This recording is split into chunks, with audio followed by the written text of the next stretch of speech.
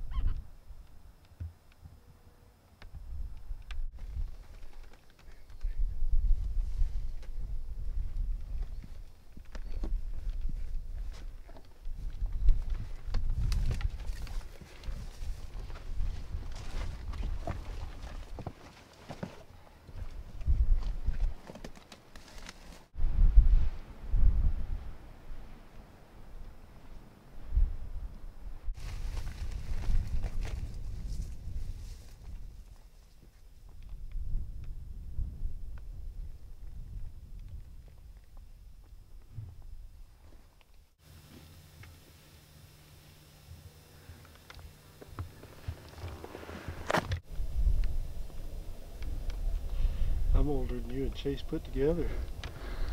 Well, it's uh, afternoon of opening day, and uh, I'm here with Mike and Devin on the youth hunt, and uh, we were pretty close to a nice billy this morning, but not quite close enough. And then we glassed up a bunch way far off, so this evening we're going after one of those groups that, that we glassed, so hopefully they're still in the same area and uh, we'll get to get up on them.